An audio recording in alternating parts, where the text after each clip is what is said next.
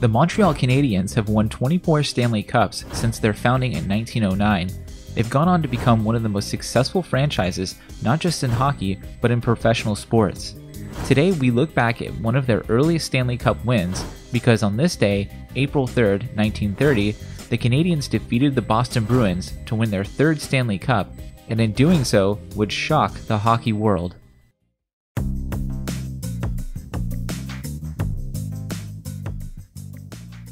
Before we get started, I just want to say welcome to All Sports History.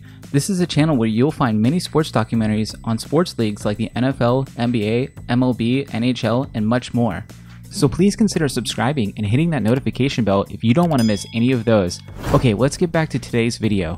By the 1929 to 1930 NHL season, the league had grown to 10 teams with two divisions the American Division and the Canadian Division, with teams being divided up by their respective home countries with the exception of the New York Americans, who for reasons of divisional balance played in the Canadian division. The season consisted of 44 games, with 6 of the 10 teams qualifying for the playoffs. The Boston Bruins were the defending champions heading into the finals, with 38 wins, 5 losses, and 1 tie. They accumulated a winning percentage of .875, which set the record for the best winning percentage in NHL history in a single season, a record that still stands today. During the regular season, the Canadiens had lost all four matchups against the Bruins, so going into the finals, Boston was easily favored to win the championship. However, as we know, things turned out much differently. Before the start of the season, the NHL instituted new rules to try and stimulate more scoring. They would for the first time allow forward passing in all three zones, hoping that more offense and more goals would be scored. Well, what they hoped for paid off big time, because every NHL team managed to score over 100 goals that season.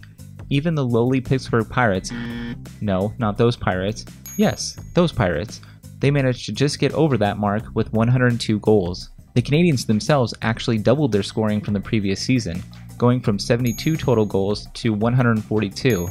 However, the Bruins scored the most goals that season with 179, while also allowing the fewest goals scored against them. As the playoffs started, the Canadiens faced off against the Chicago Blackhawks in the quarterfinals. They defeated them after two games with a better goal total of 3 to 2. During the semifinals, Montreal played the New York Rangers and swept them in two games in a best of three series.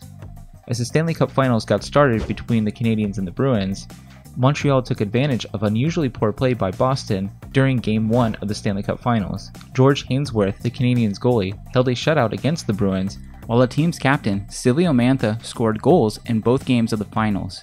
Game 2, which was played at the Montreal Forum, was decided by Howie Morenz' goal during the second period, which put the Canadiens up 4-3 over the Bruins.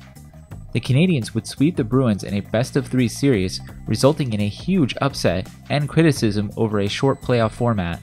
Boston had not lost back to back games that entire season until the finals, but after being swept by the Canadiens, the NHL moved to change the finals format to a best of five games instead of three. The Canadiens had five wins, zero losses, and one tie during their playoff run that year, making them one of the few teams to go undefeated throughout their playoff run in NHL history. There were also some interesting oddities about the Stanley Cup engraving.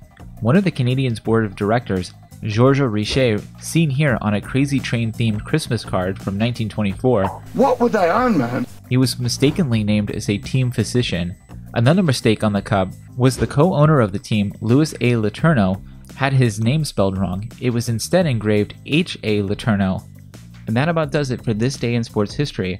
What did you think about the Canadiens sweeping the Bruins in only two games? Do you prefer a shorter playoff series, like a best of three, or do you prefer a longer series, like a best of seven that we have today? Let me know in the comments below.